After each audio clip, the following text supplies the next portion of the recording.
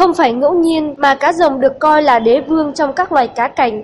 Đây là một loài cá quý hiếm, được liệt kê trong danh sách các loài nước ngọt của sách đỏ Việt Nam.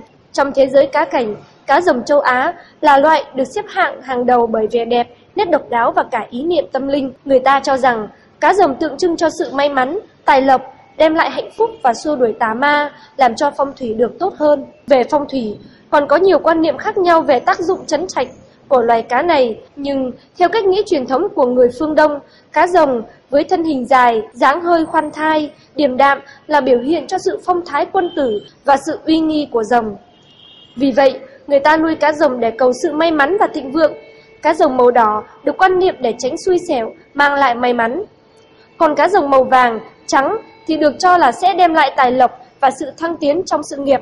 Hiện nay, cá rồng có nhiều loại nhưng tụ chung lại có thể chia thành hai dòng chính là huyết long hay còn gọi là toàn thân màu đỏ và quá bối hay còn gọi là toàn thân màu vàng.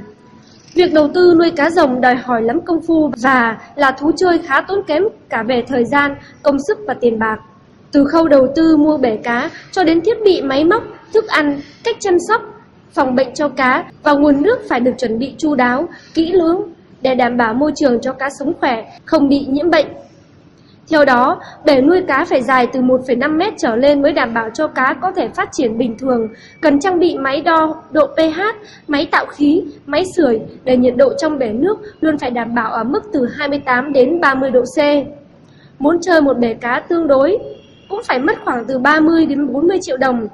Trong khi đó, riêng tiền đầu tư vào để nuôi bể cá đã chiếm gần nửa. Tùy theo từng loài, từng kích cỡ mà có giá tiền khác nhau, nhỏ thì khoảng từ 2 đến 3 triệu đồng trên một con, lớn thì khoảng từ 10 đến 15 triệu đồng trên một con. Điều quan trọng nhất là kỹ thuật chăm sóc để cá có thể lên màu đẹp là cả một bí quyết, kinh nghiệm của người nuôi cá. Và phải là những người có kinh nghiệm nuôi lâu năm mới chọn được những con cá giống đẹp, khỏe mạnh và có màu sắc tươi đẹp. Ngày nay, việc chơi cá cảnh không chỉ đơn thuần là sở thích, niềm đam mê thú vui tao nhã mà còn mang ý nghĩa phong thủy sâu sắc. Với những hy vọng sẽ đem lại nhiều niềm vui, hạnh phúc, thành đạt và gặp nhiều may mắn trong cuộc sống. Chính vì vậy, mỗi dịp đầu năm mới, những người chơi cá rồng lại tụ hội về cùng khoe và thưởng thức, ngắm nhìn những chú cá lấp lánh, màu sắc này để xua đi những cảm giác mệt mỏi, nỗi lo toan thường nhật.